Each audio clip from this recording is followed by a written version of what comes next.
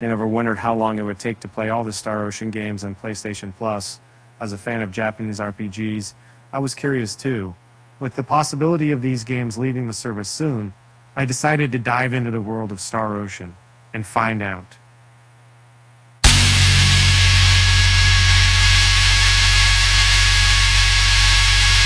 If you're a PlayStation Plus subscriber and want to complete all the Star Ocean games, uh, you might want to prioritize them.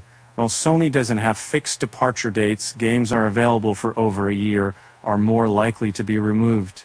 The current lineup includes Star Ocean First Departure R, Integrity and Faithlessness, The Last Hope, Till the End of Time, and The Divine Force. And now let's talk about the time investment. Star Ocean games can be quite lengthy, with casual playthroughs and completionist runs varying greatly. For instance, First Departure R can take up 20 to 25 hours for a casual player, but investing 55 hours. Integrity and Faithlessness runs about 20 hours, but exploring all its features could take 8 hours.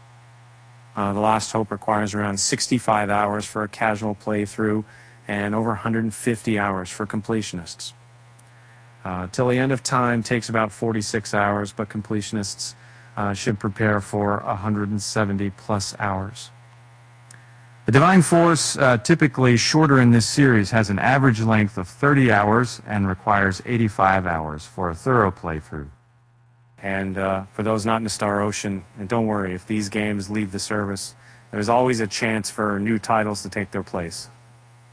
This August, PlayStation Plus offered fantastic games like Lego Star Wars The Skywalker Saga, Five Nights at Freddy's, Security Breach, and Ender Lilies, Quietus of the Knights. Uh, so there you have it. If you're up for the challenge, uh, Star Ocean awaits. Um, but remember, with great RPGs comes great time investment. With that said, thanks for watching, and until next time. Uh, P.S. Did you know that on average it takes a gamer 100 hours to complete a single RPG? Time flies when you're saving the world.